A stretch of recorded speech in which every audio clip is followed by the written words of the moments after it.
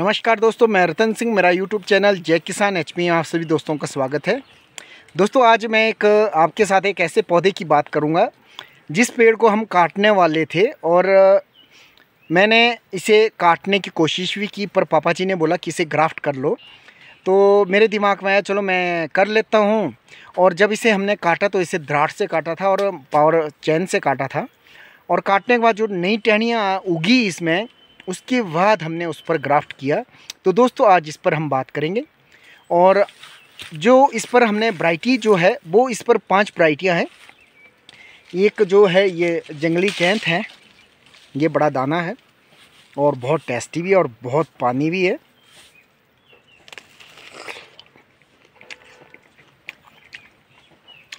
बहुत बहुत बहुत ज़्यादा रस है इसमें। और इसमें स्टार क्रिम्सन है, पैखम है, रेड वार्लेट है, कश्मीरी नाखे हैं और ये कैंथ है।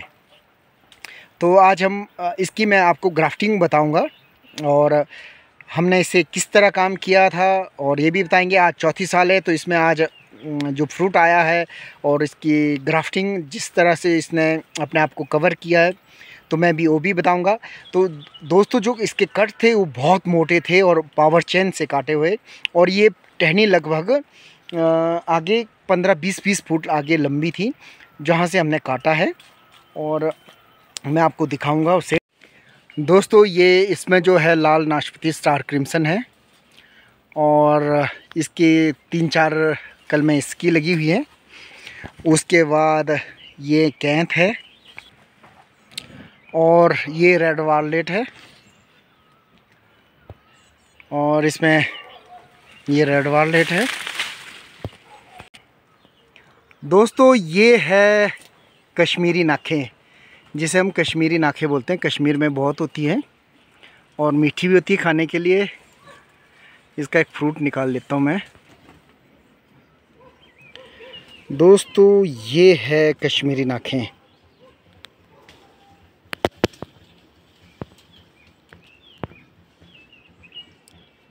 ये कश्मीरी नाखे हैं।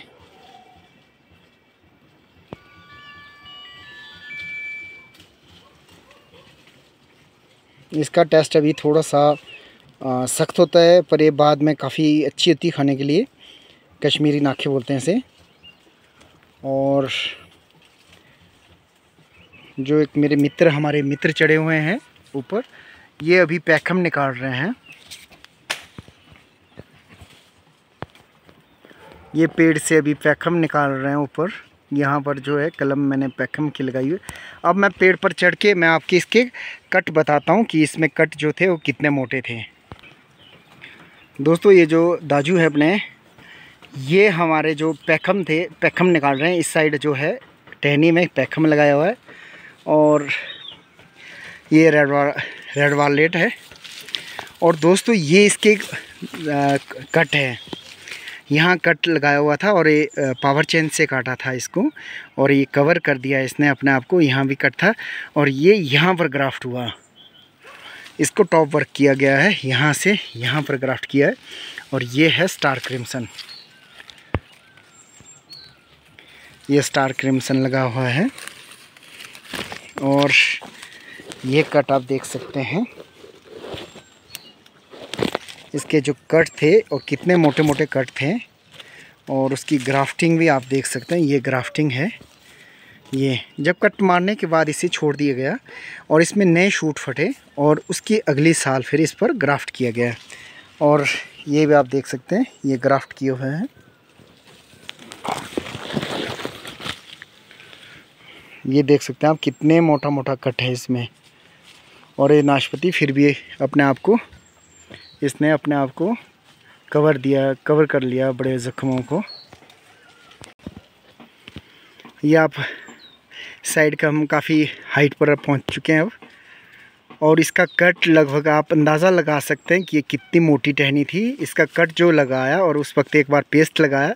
पेस्ट लगाने के बाद इसे कुछ नहीं किया और इसकी जो टहनियाँ आई, यहाँ आप देख सकते हैं, ये इसने कितना कवर कर दिया अपने आप को। और इसमें बहुत अच्छा फ्रूट आ रहा अब। पिछले साल बहुत कम था, इस बार काफ़ी फ्रूट है इसमें। और ये देख सकते हैं आप कितना बड़ा ज़ख्म। और इसमें नए, और ये ग्राफ्ट की हुई है इसे ब्रांच ग्राफ्टिंग ब्रांच ग्राफ्टिंग इसमें रेड वाललेट भी है स्टार क्रिम्सन भी है। और पैखम भी है, और कश्मीरी नाखे भी हैं। मैं और हाइट जाके आपको बताता हूँ। दोस्तों, ये पेड़ के ऊपर का हिस्सा है और ज़ख़म लगभग पूरा हो चुका है और ये इसकी ग्राफ्टिंग है। ये नाशपत्ती भी स्टार क्रिम्सन है। इसमें रेस्टिंग बहुत ज़्यादा आई हुई है यहाँ पर, क्योंकि यहाँ शायद मुझे लग रहा है एक तो बड़ा पेड़ था और स्प्रे ढंग से नहीं हुई। और ये है इसके बड़े ज़ख़म। और ये इसका ग्राफ्टिंग पॉइंट है। तो दोस्तों, आपके पास भी अगर नाशपति के बड़े बड़े पेड़ हैं और जो आपको लगता है बेकार है तो आप इसी तरह एक साल, पहली साल उसे काट करके उसके रहने दें और उसमें जो नया शूट फटेगा, उसमें फिर आपने ब्रांच ग्राफ्टिंग करनी है। और ये बहुत शानदार पेड़ बना हुआ अब। इसकी सारी ग्राफ्टिंग, बड़े बड़े ज़ख़म आप देख सकते हैं कितने कितने बड़े ज़ख्म हैं। और अब नाशपतियाँ बहुत अच्छी लगी हुई हैं।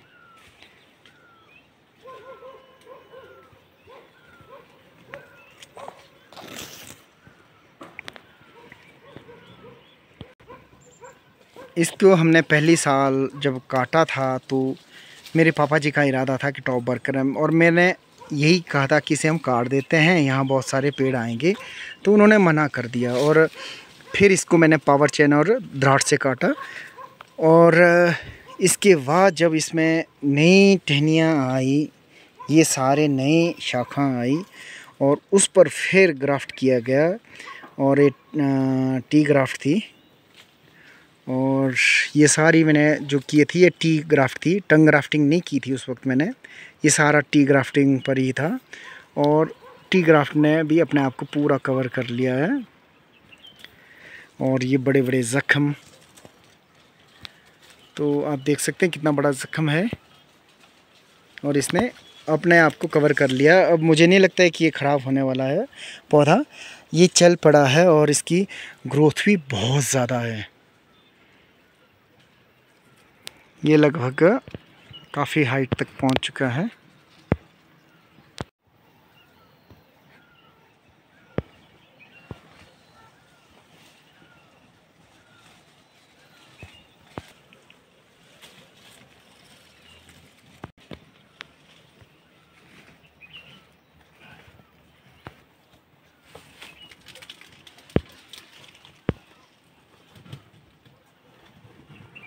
दोस्तों, इसकी जो नीचे मोटाई है लगभग लगभग इसकी मोटाई आप देख सकते हैं कितनी ज़्यादा मोटा है। और जो इसके हमने कट लगा करके हमने इसे टॉप वर्क किया। और इसकी जो ब्रांच आई हुई है अब अब ये पूरा नया प्लांट बन चुका है और नई ग्रोथ है और नया इसमें नई शाखाएँ आ चुकी हैं। अब ये पूरी तरह मुझे लगता है कई सालों के लिए है। और दोस्तों, इसकी जो मेहनत है, हमने सिर्फ़ यही किया, इसे एक बार टॉप ग्राफ्ट किया। टॉप ग्राफ्ट करने के बाद एक साल प्रूनिंग हुई और इस साल प्रूनिंग हुई। अब इसको हमें हर साल प्रूनिंग करते रहना पड़ेगा। और पौधे में काफ़ी जान आ चुकी है।